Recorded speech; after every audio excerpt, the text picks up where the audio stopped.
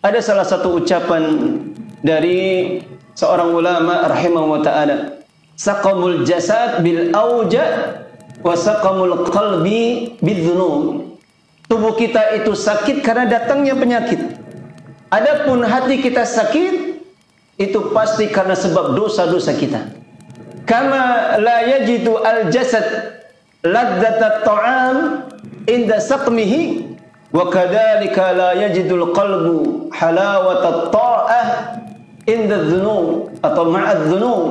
Maka ketika jasad ini kalau kita lagi sedang sakit, tidak bisa menikmati lezatnya makanan yang ada di hadapan kita. Apalagi sakit tipes, ya. Eh, makan bukannya nikmat malah dimuntahkan. Maka sebagaimana hati kita tidak akan bisa merasakan kenikmatan di dalam ketaatan-ketaatan yang kita lakukan dikarenakan masih adanya banyak dosa-dosa yang kita lakukan.